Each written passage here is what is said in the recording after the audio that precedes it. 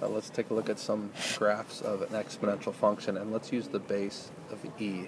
Remember e is just a number, kind of like pi is a number. Yeah. e is just 2.71 something I think, Mhm. 82 something, I, I don't even know exactly what it is, Mhm. but it's some, just a number. Okay. And, and the reason it's so important, kind of like pi is important, Mhm. it's called a transcendental number, pi Yeah. is transcendental, but it's important because it it is the ratio of the circumference to the diameter of every circle. That's what pi is. Um, so it's an important number to understand. E is an important number because it has to do with it has to do with exponential growth and decay functions and compounding interest and different things like that. So just remember that it's a number bigger than one. And that's important because when you're going to graph these things, do you remember how we graphed? So I've got, let- let's just graph these three examples, color coding them. Remember that for this one, because because that number, the base, is bigger than one, mm-hmm. let's make a quick little T-chart here for it. I'm going to go this way with it. So maybe it's not called a T-chart because it's sideways. But if I plug in negative 2, negative 1, 0, 1, and 2, I like to plug in those values for x. Let's first of all plug in 0. What do I get when I plug in One. 0? Right, e to the 0 is 1. So you're always going to go through this point right there. Unless it's shifted, which we're going to talk about in a second. How about if I plug in 1 for x? What do I get for f of x or y for y? If I plug in 1 up here, e to the 1 is just e, which is 2.71. So if I plug in 1, it's going to be up there somewhere, right? Mm-hmm. If I plug in 2 for x, I get e squared, which is, what's 3 squared? Nine. 9. What's 2 squared?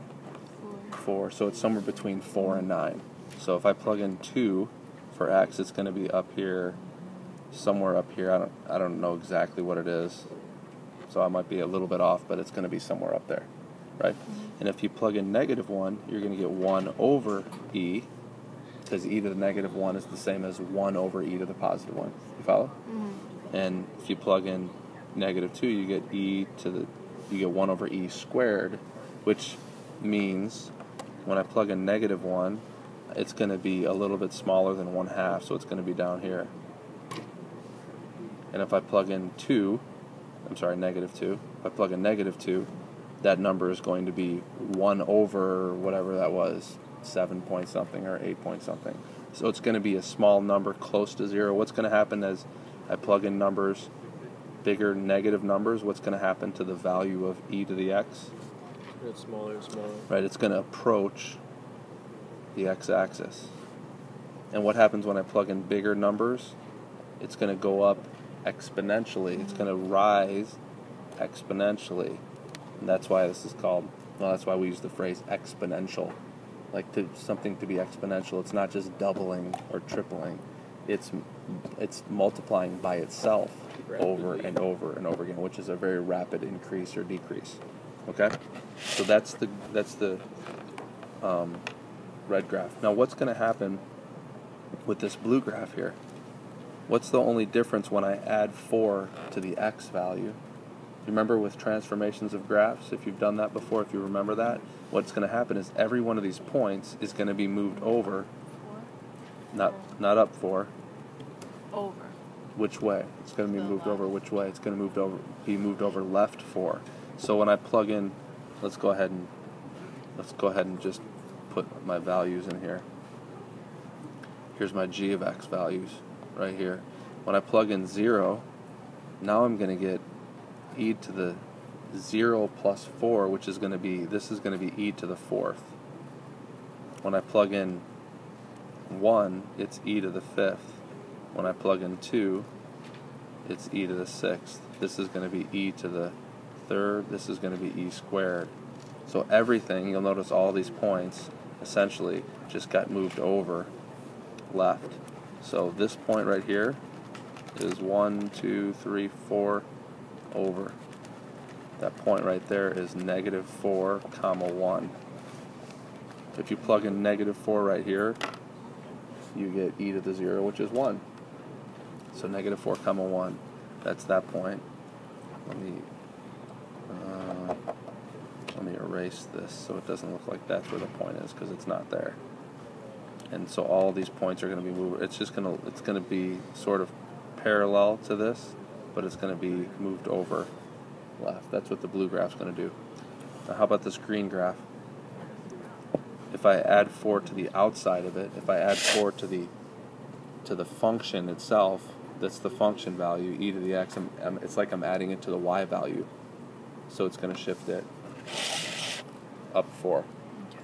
So instead of having a horizontal asymptote at 0, it's going to have a horizontal asymptote 2, 3, 4, up 4, right there. That's where your asymptote's going to be. And so your point, this point's going to be 1 up, and it's going to go down like this, and it's going to go up exponentially like that. Okay, so that's how you graph it. Let's look at a couple examples. Let's try this one. A little, little crazier, a little trickier, but we can do this. This is going to move it how? Up one. The negative the 2. Left one. That's going to move it. Nope, not left one, because you're because you're subtracting two from the from the y value from the outside. You understand that? So this negative two is going to move it down two. So my new asymptote is going to be down here. Let's draw in my asymptote.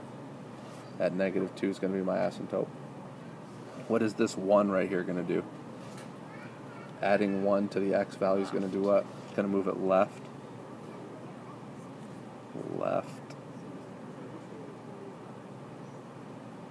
one. So the point that would have been right here is actually going to be right here. And then this 3 right here, what it does is it just stretches everything out. That 3 is just going to stretch it. It's not going to stretch this point because um, remember, that's actually, no, it is going to stretch even that point. So it's going to stretch it. It's going to stretch it by a factor of 3. It's going to stretch it vertically by a factor of 3. That's a little bit of a complicated thing to wrap your head around. In fact, let's just erase that for now. I don't want to complicate this anymore. Let's just leave it like this. So there's my graph, and there's my, my graph's going to be like this. Let's take a look at one more example. This is tricky because notice how it made the, the x, I made the x negative, and you remember that flips it.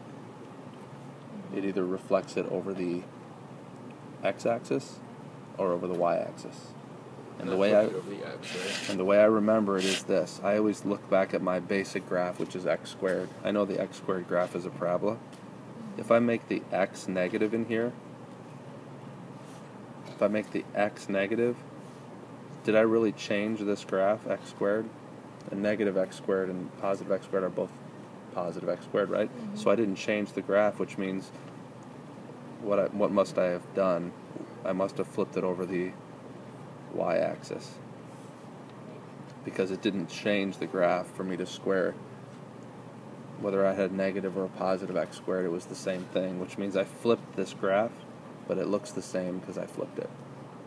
That's how I remember the general rule. So what's the general rule when you make the neg the x negative it flips it over the y-axis so instead of going this way which is what it would have done it flips it over the y-axis, which means it goes this way. Now that's not all it does, because it also moves where? Up two. It moves up two also. So I'm going to take the whole graph. I'll do this in green now. I'm going to take the whole graph, take the asymptote, move it up, put the graph there, move it up like that. And always a good idea is to plot a couple points and make sure you did it right. What's that point right there? One, two, three. It's zero comma three, right? Let's make sure that zero comma three works in here. If I plug in zero right here, what's e to the negative zero equal to? One. One, and what's one plus two? Three. So that worked. I always check a couple points to make sure I didn't make a mistake somewhere. That's how you graph um, an exponential function with base e using transformations.